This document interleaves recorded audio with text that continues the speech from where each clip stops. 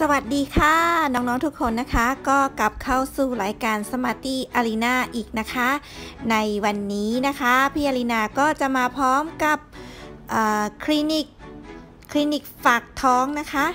กับพี่อารีนานะคะ ซึ่งในคลินิกฝากท้องของพี่อารีนาเนี่ยก็จะพูดถึงหลาย ๆ อย่างนะคะ ที่คุณแม่เนี่ยต้องเตรียมตัวดูแลตัวเองขณะที่กำลังตั้งครรภ์นะคะ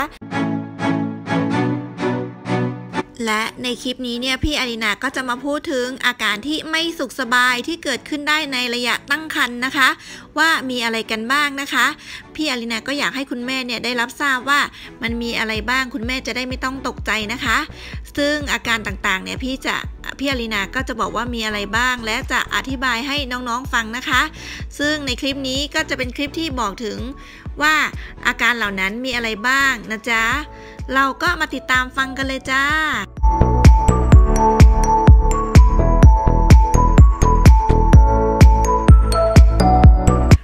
อาการที่ก่อให้เกิดความไม่สุขสบายนะคะ ขณะที่แม่เนี่ยกำลังตั้งครรภ์อยู่นะคะ แล้วก็เป็นอาการที่เกิดขึ้นได้ ไม่น่าตกใจนะคะ พี่อารีนาก็จะบอกนะคะ ก็จะมีอาการดังนี้จ้า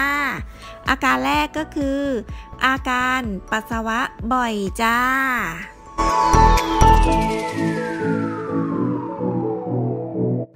ต่อไปนะคะก็เป็นอาการที่ 2 ก็คือ อาการคลื่นไส้อาเจียนค่ะ ซึ่งอาการนี้ก็เป็นอาการที่สามารถเกิดขึ้นได้ในขณะตั้งครรภ์เลยนะคะ อาการคลื่นไส้อาเจียนนี้เราก็จะเรียกรวมๆกันว่าแพ้ท้องค่ะ มักจะเกิดในช่วง 3 เดือนแรกของการตั้งครรภ์นะคะอาการนี้เนี่ยเชื่อว่าเป็นอาการคลื่นไส้อาเจียนเนี่ยเกิดมาจากทางด้านจิตใจค่ะ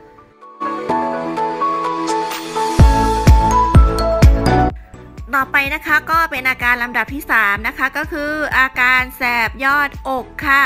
เนื่องจากว่าในขณะตั้งครรภ์เนี่ยกระเพาะอาหารเนี่ยเคลื่อนไหวน้อยลง และมีการไหลกลับของสารต่างๆ ที่เรากินเข้าไปนะคะ ในกระเพาะเนี่ยมีการไหลกลับค่ะมาที่หลอดอาหารทำให้เกิดการระคายเคืองตรงบริเวณคอค่ะ จึงทำให้เกิดอาการแสบร้อนบริเวณยอดอกนั่นเอง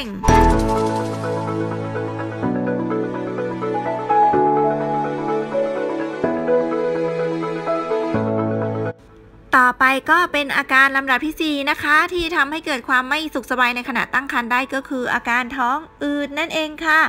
นั่นเป็นเพราะว่าการเคลื่อนไหวของอลำไส้เนี่ยน้อยลงนะคะ เลยทำให้เกิดแบคทีเรียในลำไส้เนี่ยทำให้เกิดแก๊สนั่นเอง หรือรับประทานอาหารที่ทำให้เกิดแก๊สได้ง่ายนะคะ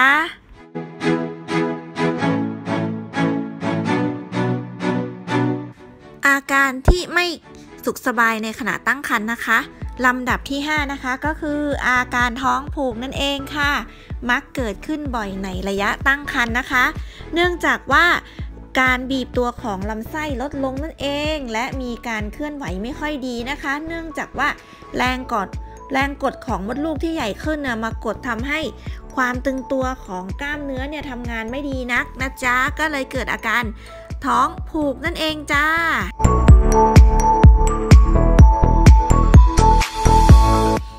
ต่อไปเราก็มาฟังอาการไม่สุขสบายที่อาจเกิดขึ้นในขณะตั้งครรภ์อาการต่อไปเลยก็คือลำดับที่ 6 นะคะ น้ำลายออกมากค่ะ เป็นอาการที่ไม่ค่อยพบบ่อยนะคะ และรักษาค่อนข้างยากค่ะ และทำให้สตรีตั้งครรภ์เนี่ยรู้สึกลำคาญ เพราะว่าน้ำลายไหลออกมาจากน้ำลายไหลออกมาบ่อยนะคะกลืนไม่ทันนะคะ ต้องบ้วนทิ้ง และมักมีกลิ่นเหม็นนะคะ และไม่สามารถจะกืนไปได้นะคะ ในคนปกติเนี่ยจะพบว่ามีอาการน้ำลายออกมาวันละประมาณ 1,700ซีซีค่ะ แต่จะกืนลงไปโดยที่ไม่รู้สึกตัว เช่นเดียวกับการกระพริบตาหรือการหายใจนะคะ เป็นที่ยอมรับกันว่าอาการนี้ไม่ได้เกิดขึ้นจากต่อมการสร้างน้ำลายมากเกินไปค่ะ แต่เนื่องจากว่าเป็นเป็นภาวะทางด้านจิตใจของหญิงตั้งครรภ์นั่นเอง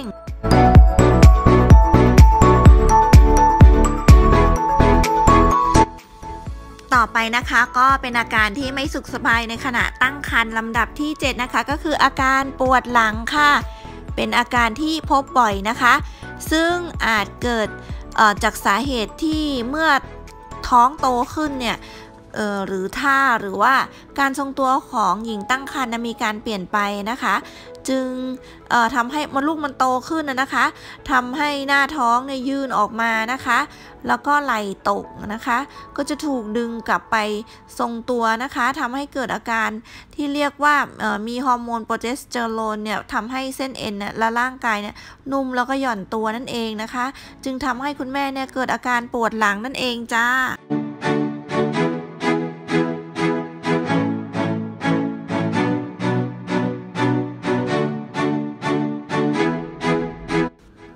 ต่อไปก็เป็นอาการไม่สุขสบายขณะที่คุณแม่ตั้งครรภ์เนี่ยนะคะลำดับที่ 8 ก็คือ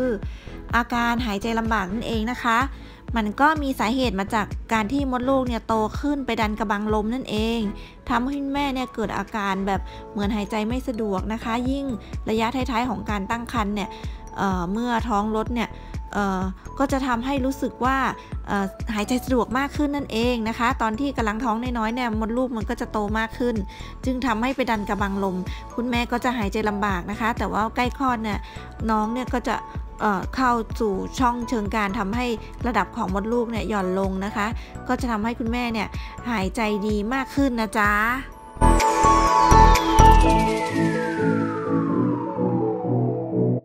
ต่อไปนะคะก็เป็นอาการที่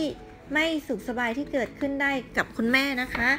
ในลำดับที่ 9 นะคะก็คือบริเวณ คือเป็นการเขาเรียกว่าอาการที่เรียกว่ามีลักษณะเหมือนคล้าย ๆ จะเป็นลมบ่อยๆอะคะ่ะเพราะมันเนื่องมาจากว่าคุณแม่เนี่ยมดลูกโตขึ้นนั่นเองนะคะ เวลาที่คุณแม่นอนหงายบางครั้งเนี่ยมดลูกมันก็จะไปกดทับเส้นเลือดนะคะ ที่ทำให้เส้นเลือดเนี่ยมาเลี้ยงส่วนต่างๆ หรือไหลกลับเข้าสู่หัวใจอะไรอย่างเงี้ยค่ะ มันก็เลยทำให้การไหลเวียนของเลือดเนี่ยแย่ลง จึงทำให้เกิดภาวะที่เกิดความดันต่ำลงนะคะ เลยส่งผลให้คุณแม่เนี่ยรู้สึกว่าหน้ามืดเป็นลมบ่อยๆ นั่นเองนะจ๊ะ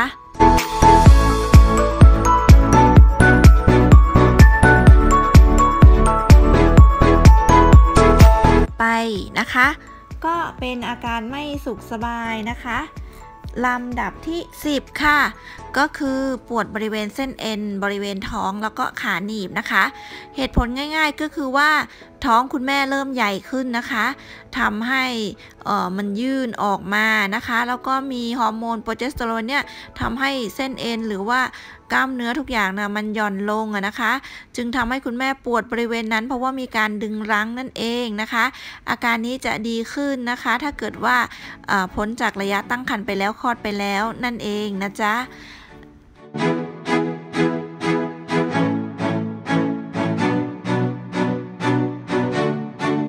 ต่อไปก็เป็นอาการไม่สุขสบายในขณะ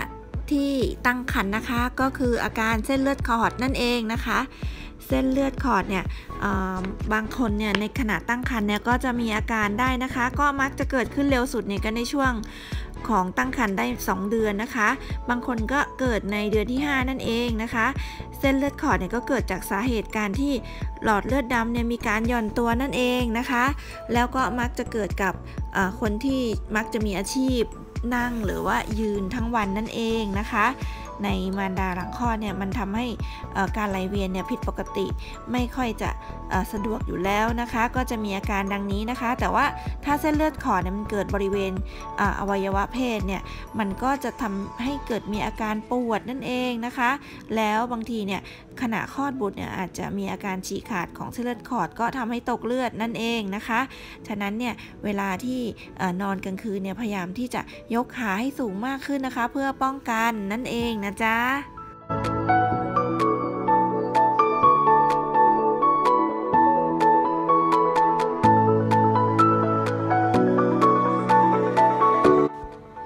ทั้งสิ้นเนี่ยก็เป็นอาการที่ไม่สุขสบายที่เกิดขึ้นได้ในขณะตั้งครรภ์นะคะ ที่พี่อารินาได้พูดมานะคะ แต่ในคลิปนี้เนี่ยยังคงได้บอกอาการที่เกิดขึ้นเนี่ยความไม่สุขสบายเนี่ยยังไม่หมดนะคะ ยังมีอาการอื่นๆอีกนะคะ พี่อลินาก็อยากให้น้องๆเนี่ยติดตามฟังนะคะ เพราะว่าจะมีคลิปต่อเนื่องจากอาการไม่สุขสบายนี้อีกนะคะ ไม่ใช่เพียงแค่นี้ ก็อยากให้น้องๆเนี่ยช่วยกดติดตามเป็นกำลังใจให้พี่อลินานะคะ ในช่องสมาร์ตี้อลินานะคะ และติดตามมาที่คลินิกการฝากครรภ์นะคะ แล้วก็กดกระดิ่งนะคะ เพราะว่าการกดกระดิ่งแจ้งเตือนเนี่ยเวลาที่พี่อัปโหลดคลิปใหม่ๆเนี่ยมันจะขึ้นนะคะ ซึ่งคลิปเรื่องของการฝากครรภ์จะอยู่ที่ playlist ฝากครรภ์ค่ะ อย่าลืมกดติดตามเป็นกำลังใจกันนะคะ เจอกันในคลิปวิดีโอหน้านะคะ กับอาการไม่สุขสบายของหญิงตั้งครรภ์นนะจ๊ะ สวัสดีจ้า